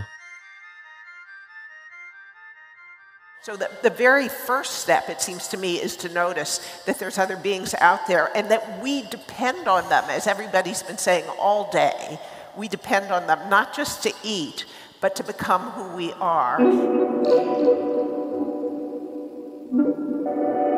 Vamos a ir a varios lugares para desmenuzar estas dos palabras. Primero regresaremos a la crítica de Leslie Brooks para dialogar con otro de sus apartados. A mitad de camino volveremos también a la Z en el fin del mundo de Lowenhaupt Singh para pedirle prestada una última idea, y hasta el final de esta sección llegaremos a las teorías de Paul Luque sobre la ficción que fantasea y la que imagina. Regresando pues a Brooks, en la segunda de cuatro partes en que divide su crítica, escribe que es importante que entiendas tu papel en el mundo, pero sobre todo es más importante que entiendas las maneras en las que el mundo te hace asumir ese papel. Podemos trasvasar esta frase al proceso de jugar cualquier videojuego, en el sentido de que es importante entender la manera en que una obra nos hace adoptar una presencia determinada y cómo controla las posibilidades de nuestra interacción y protagonismo, en la línea de lo que hablamos hace años en el vídeo inaugural de este canal, aquel Máquinas de Matar. En Rainworld, la indeterminación podría llevarnos al inicio a pensar que nuestro papel aquí es no tener papel, solo pertenecer y estar y existir y sufrir sus reencarnaciones. Asumir, si nos abrimos a ello, la muerte, la caída, la precariedad, en fin, ya hemos hablado largo y tendido de esto, pero en lo que respecta a nuestra relación con el mundo, que es otra manera de manejar lo que podría significar tener un papel, hay que pensar desde el espacio intermedio entre nuestro yo Slackcat y nuestro yo jugadora que es algo que también podría aplicarse a cualquier videojuego, pero que aquí es una línea muy fina, porque nunca somos completamente una cosa u otra, sino la influencia recíproca entre lo que existe a ambos lados de la pantalla. Esto, como también escribe Brooks, se traduce en Rainwall en que eres una criatura lo suficientemente inteligente para percibir patrones y estructuras, para identificar los símbolos y estratos a tu alrededor, pero no lo suficiente como para entender su significado y propósito, no digamos ya su causalidad. Pero como en tantas otras cosas, no estás sola en esto, porque el resto de habitantes también demuestran incertidumbre cuando te las encuentras. Habitualmente no es mucha y se te lanzan al cuello nada más verte, vale, pero no es raro toparse con alguna criatura que duda entre atacarte, temerte, ayudarte o en general qué hacer contigo. Y en esa duda podemos sentirnos reconocidas, no como algo singular, sino como parte de ese tejido relacional que hemos estado poniendo en valor. Puedes incluso intercambiar cosas con cierto tipo de coexistentes, los saqueadores, pero para ello vas a tener que arriesgarte a acercarte y a aprender los rituales y los botones para hacerlo. Y lo que cuenta es que es un riesgo compartido, que el saqueador también titubea, levanta la mano y mantiene distancia. Un mal movimiento y habrá tensión, luego lucha y después muerte, la tuya o la suya, o la de las dos a la vez. Lo que se convierte en guía muy pronto es entonces el instinto animal, porque hay normas pero nadie va a enseñártelas. Y en manos del instinto, el encuentro con la otra en Rainworld, ya termine bien, mal o regular, va conformando una intensa experiencia de continuidad que solo puede verse como injusta por cómo no va de ti, sino de su ecosistema. Pero resignificar el disfrute desde experiencias de interdependencia y conexión no significa sacar lo injusto de la ecuación, significa verlo como un espacio de potencialidad y dejarnos envolver por esa inestabilidad que nos rodea, voluptuosa e indomable. En primera instancia porque, al menos en el caso de Rainworld, nos salvaguarda aquel consuelo relativo de que si el juego trata a todas sus criaturas por igual, el sufrimiento es universal. Es decir, si no somos especiales, tampoco va a serlo nuestro dolor. Y en segunda instancia, porque, en palabras de Brooks, una vez el mundo es visto a través de esta lente como un lugar en el que meramente existir y que observar, en lugar de una serie de situaciones que secuestran nuestro estado emocional, el juego se vuelve un profundo disfrute. O traduciéndolo todo con algo más de intención y dándole una vuelta, jugar a Rainwall devuelve un disfrute profundo. Y con esto de profundo me refiero a algo que ya hemos manejado en más de un vídeo anterior. Es ese disfrute que vibra cuando encontramos resistencia en una obra, cuando notamos que el resto de sus habitantes tiene ciertos niveles de agencia e independencia. El placer, vamos, que deriva de tener una relación compleja con un mundo de videojuego. Es la gente alrededor de 80 Days desconfiando de nuestra condición blanca, privilegiada y extranjera. Son la culpa y las dudas irresolubles de las colonas anticolonialistas de Jet. Es super hot metiéndote en una celda y llamándote perro. Y es en Rainworld la experiencia de un todo mucho mayor que nosotras y la oportunidad de repensarnos desde la descentralización y la insignificancia como Slackcat, como jugadoras, e incluso como seres humanos. Quiero decir, igual que una seta puede enseñarnos las posibilidades de la vida en las ruinas del capitalismo, podemos hallar lecciones similares en este juego y sus criaturas. Y antes de que alguien cierre aquí el vídeo porque piense que me estoy viniendo demasiado arriba, especifico un poco más. Me refiero a una humanidad que se reconciba a sí misma como parte de un ecosistema mucho más vasto y complejo que ella, que reconecte con un tejido de criaturas, formas de vida y existencias que no solo hacen posible su vida, sino que pueden inspirarla a reescribir su propia cosmovisión. Una humanidad, en menos palabras, voluptuosa y que afronte de otra manera el dolor de existir. Y esto es moldeable tanto desde lo habitacional como desde la experiencia de la ficción, para lo cual podemos volver a Lowenhaupt-Singh para tomarle prestada una última idea, quizás la que más potencia tiene para pensar nuestro Slackcat en el fin del mundo, la del entorno polifónico. La autora, a la búsqueda de un modelo para replantear nuestros encajes ecosistémicos, se trae este término de la teoría musical, que define, y aquí hago un resumen tochísimo, como el entrelazamiento de melodías autónomas que coexisten, en cierto equilibrio, quizás con algo de resonancia, pero siempre con grados de separación identificables, juntas, pero no revueltas, afectadas entre sí, pero nunca impedidas. Lowenhaupt Singh escribe que los actos de darse cuenta revelan estas polifonías naturales tremendamente complejas que son capaces de desarmar cualquier individualismo. Y si nos acoplamos a esta cadena de pensamiento, Rainwall podría verse como una propuesta de juego polifónico. Si estuviéramos hablando en inglés, diríamos polyphonic play, aludiendo más a la experiencia de juego que a su objeto concreto, que en ese caso sería polyphonic game. Una idea, de nuevo, con dos dimensiones, tanto actitud como actividad, y en la que la vulnerabilidad se da la vuelta y nos lleva al convencimiento férreo de que necesitamos ayuda, conexión y comunidad, no ya para sobrevivir, sino para vivir a secas. Este es justo el ángulo con el que reflexionar el juego polifónico desde nuestra relación con la ficción. Aquí, lo avancé al principio de esta sección, mi referencia principal es Paul Luque y su libro Las cosas como son y otras fantasías, un texto al que he recurrido más de una vez, y de dos, y de tres, y al que seguro que seguiré regresando durante mucho tiempo. En esta ocasión, lo que me llevo es la manera en que Luque habla en su ensayo de la idea de armonía, que tiene una denotación negativa porque, citando directamente, nada parece calcar mejor la armonía que la ausencia de alteridad.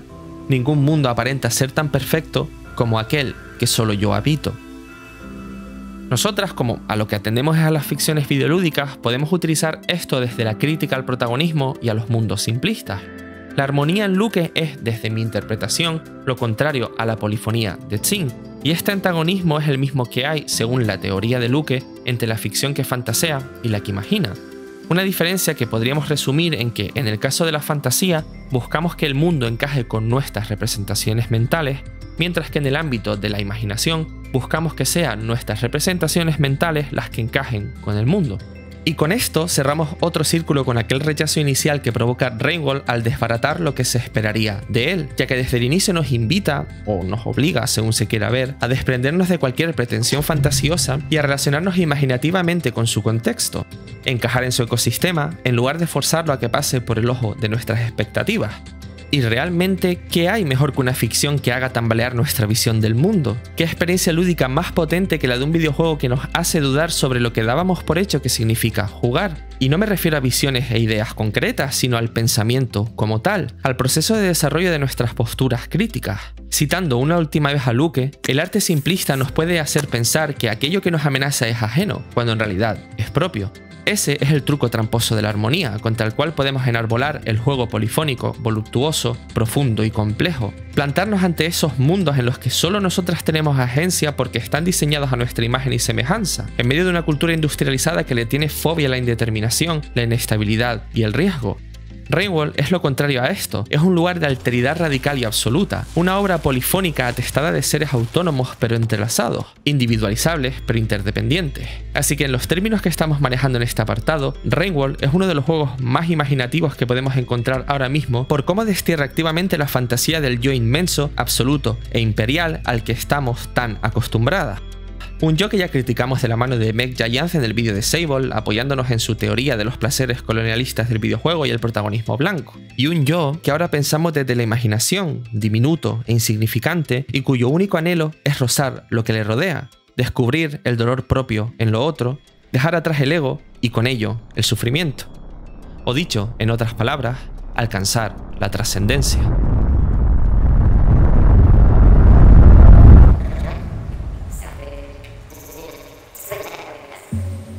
Recuperemos aquí, muy cerca ya del punto y final de este vídeo, las tres estrategias para lidiar con el sufrimiento por las que pasamos antes, para mirarlas una última vez, algo más de cerca, y con algunos ejemplos concretos. La primera estrategia, dijimos, es soportar el dolor, aguantar con los puños cerrados y perseverar hasta que lo superemos o este simplemente se desvanezca. That's a deep frustration, a real punch in the gut. También mencionamos que este es el lugar más común de nuestros videojuegos, que articula gran parte de lo que se suele proponer como retos y dificultades, y aunque no sea para nada sorprendente, en medio de la masa de ejemplos posibles para mí, la obra que mejor representa esto es Sekiro.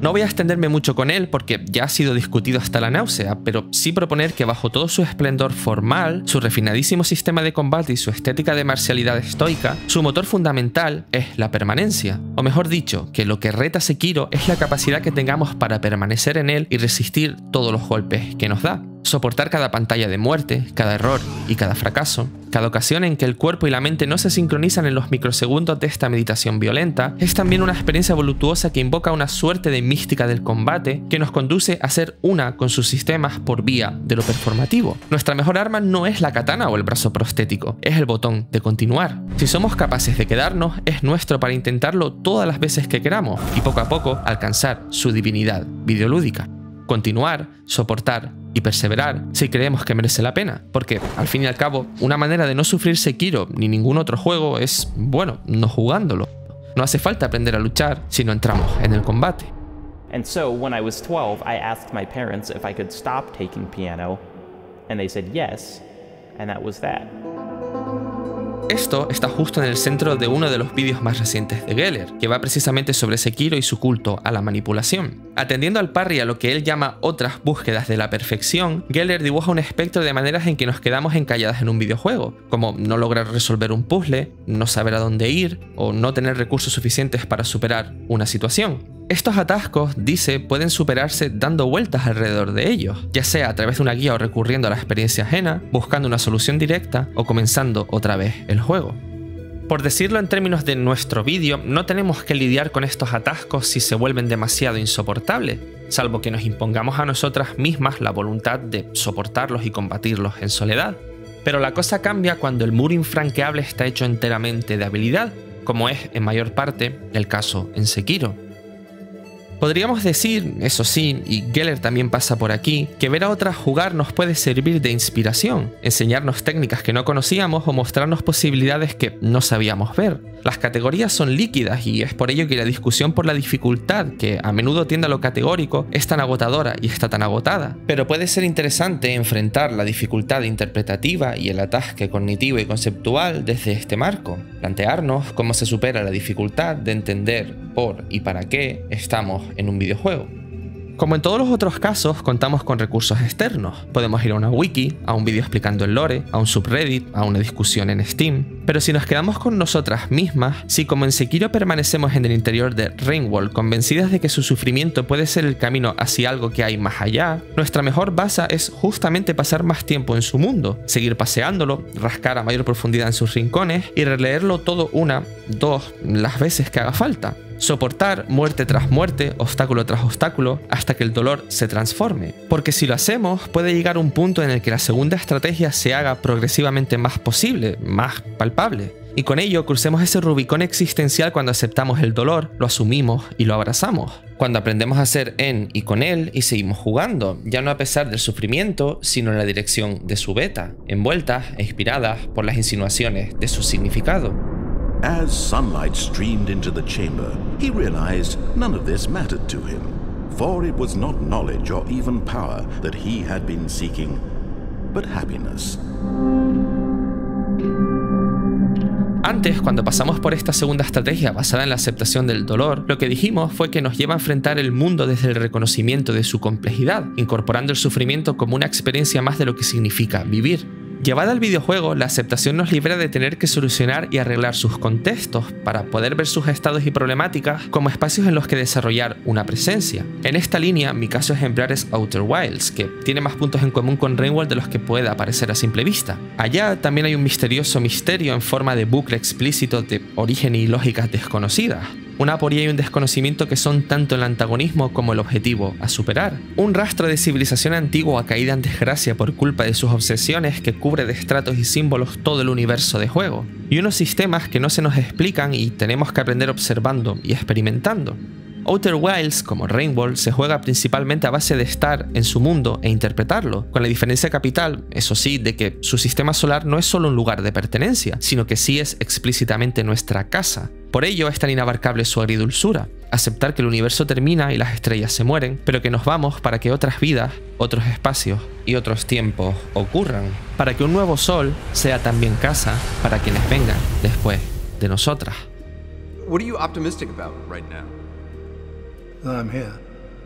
Nuestra relación con el sufrimiento en Rainwall, como hemos visto, va por otro derrotero.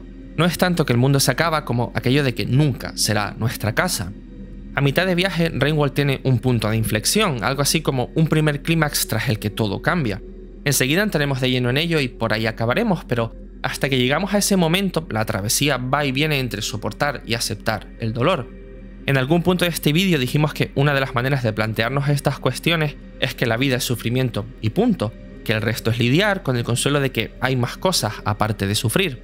Rainwall es exactamente igual, se sufre y punto, pero hay mucho más. Y sufrir por su parte en la piel del Slacka nos acerca progresivamente a esta criatura, estrecha el espacio que nos separa y nos hace caer poco a poco a mayor profundidad en la experiencia de su pequeñez, su insignificancia y su futilidad como algo enriquecedor. Y lo mágico es que esto ocurre en muchos sentidos de manera orgánica. Nosotras jugamos y entre pantallas, biomas y muertes somos cada vez más Slackcat. Lo que al principio era una fuente de sufrimiento se resignifica como una ventana abierta a la trascendencia pero siempre como un pack único e indivisible. Jugamos y conjugamos con dos ideas enfrentadas e irreconciliables y anidamos en su contradicción. Nunca podremos librarnos completamente del deseo de saber más y tampoco ignorar del todo que jamás sabremos lo suficiente. Pero por suerte, el sentido no es algo que se encuentra, sino que es algo que se crea. Esto es precisamente lo que ocurre en aquel punto de inflexión que adelanté hace un momento y que parte por la mitad todo Rainworld. Ocurre cuando terminamos nuestro camino de ascenso y llegamos al corazón del iterador suicida y consumido por la podredumbre, llamado Five Pebbles. El iterador nos recibe altivo, enajenado, con la insolencia de quien se sabe demasiado complejo y superior como para ni siquiera tenernos en cuenta como algo a lo que, en fin, tener en cuenta. Hasta aquí nos ha traído el instinto, más como una brújula que como un mapa, y ayudado, sí, por alguna que otra indicación a lo largo del viaje. Y tras llegar, Five Pebbles nos otorga lo que llaman la marca, y con ella la capacidad de comprender y de comunicarnos. Nos toca y se hacen la luz, las palabras y el resto del camino. Lo que buscamos, dice Pebbles, está en dirección contraria, hacia abajo, pasados los pueblos primordiales, las grutas antiguas y los orígenes del mundo, donde el ciclo empieza y termina y donde el abismo más oscuro acoge la luz más brillante. Allí nos manda antes de seguir con sus iteraciones eternas. O puede que esa no sea la expresión, porque ocurre como cuando hablábamos del escapismo y su implicación de que hay algo de lo que escapar. En el momento en que Pebbles nos dice que allí encontraremos la conclusión a nuestro viaje, es cuando nuestra aventura pasa a tener conclusión. Ahora somos un Slack Cat con una misión, y esa misión es trascender.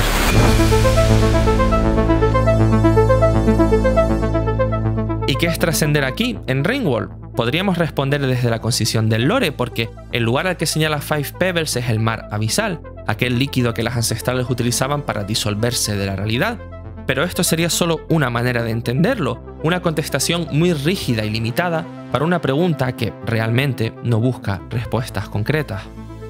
La marca cambia para siempre nuestra relación con el mundo, en la misma línea de lo que nos pasa con la acumulación de lucidez en Bloodborne o cuando miramos desde lo alto de la montaña en The Witness y experimentamos su eureka definitivo. Sus manifestaciones son muy diferentes, está claro, pero en esencia son también un acceso a un conocimiento que permite ver lo que estaba ahí pero no se sabía ver, que en Bloodborne conduce a la locura y al frenesí, en ese terror cósmico que cuando está bien llevado sabe que la imposibilidad de definir y hallar sentido es uno de los mayores miedos humanos o, como en The Witness, puede tornarse una obsesión, un patrón que no podemos dejar de ver en todos lados, como si hubiera un hilo conductor tejiendo el universo y ahora pudiéramos verle las costuras.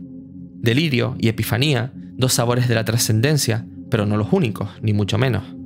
El de Rainwall es el de una liberación, al menos en su ruta más canónica, el viaje del superviviente. Un descanso envuelto en melancolía porque el descenso hacia la luz implica dejar atrás nuestro cuerpo, nuestra historia y nuestra individualidad aterra muchísimo, pero desde el reconocimiento de la futilidad, la nimiedad y el absurdo, ¿quién no lo perseguiría? Porque el cambio radical que ocurre durante nuestro encuentro con Five Pebbles es ni más ni menos que el que va de la insignificancia a la falta de sentido, que son dos cosas muy diferentes. La insignificancia es una ausencia universal de significado, algo compartido por todas las criaturas sintientes y no sintientes, desde lo que es más o menos fácil caer en la autodestrucción nihilista, como les pasó a las ancestrales y a los iteradores. La falta de sentido que el inglés condensa más certeramente en meaningless en contraposición a insignificance tiene más que ver con lo que somos y el lugar que ocupamos. No es tanto que no haya significado posible, sino que no tenemos acceso a él, así que a verlo haylo, pero es para otra, y que duele más, saber que no hay significado posible o que éste existe, pero no para nosotras. Supongo que tanto lo uno como lo otro, que son dolores diferentes, sin más. Pero creo que cuando Five Pebbles nos da la marca, lo hace desde uno de los pocos resquicios de cordura y compasión que le quedan. A su manera, rompe el bucle que le llevó a nacer y que sostiene toda su existencia. No nos convierte en un nuevo Dios como hicieron las ancestrales con él, cargándole con el peso de sustituir el dolor de la vida por una felicidad de diseño, sino que nos invita, literalmente, a dar media vuelta a darnos cuenta de que somos un Slackat y que Slackat es todo lo que seremos y que eso está bien y es suficiente, que trascender es terminar de caer en su cuerpo, su presencia y su insignificancia. A ojos de Five Pebbles, estoy convencido, esto es un regalo, algo que nos permite dejar atrás tanto el dolor de nuestras limitaciones como su idea rota y desgastada, y en una segunda etapa, tras este punto de no retorno, revelarnos que la trascendencia también es un reencuentro. Así que bajamos y bajamos y bajamos. Pasamos más pruebas, cruzamos más puertas y acumulamos más karma. Dejamos atrás las ruinas, superamos a los guardianes primigenios, visitamos los viejos templos y llegamos a las primeras cuevas, donde se acumulan la luz y el abismo. Y el sufrimiento, la alienación y esa precariedad que Lowenhaupt Singh también definió en su Z en el fin del mundo como un aquí y una hora en los que los pasados no están conectados con futuros, se disuelven a través de este regreso. Polvo fuimos y en el polvo nos reunimos. Pequeñas motitas blancas, un mar de slackcats flotando en la inmensa oscuridad de un cosmos ancestral, nadando al unísono, como una sola, en un voluptuoso abrazo. Una última visión tras tanta lucha que difícilmente cabe en palabras, sonidos o imágenes, pero que puede servirse de ellas para enseñarnos a darnos cuenta. y una experiencia trascendental que hay que sufrir para contarla, porque eso, por última vez, es el juego. Algo que en Rainbow duele, pero que también tiene la capacidad de salvarnos.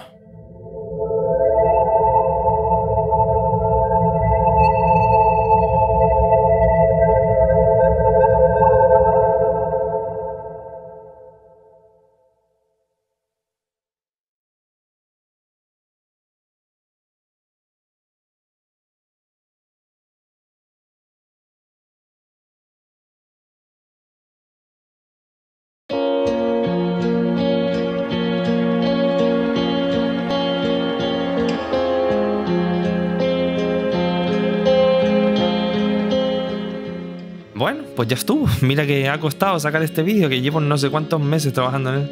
Me sale el Rainbow por las orejas, por, la- por las orejas, por los ojos, por los dedos y por todos lados. Y bueno, es- espero que este comentario final se esté viendo bien. Porque me ha tocado grabarlo un día en el que está todo nublado y lluvioso, que temáticamente encaja bastante bien, pero no sé si la luz natural y mi cara están ahora mismo en diálogo.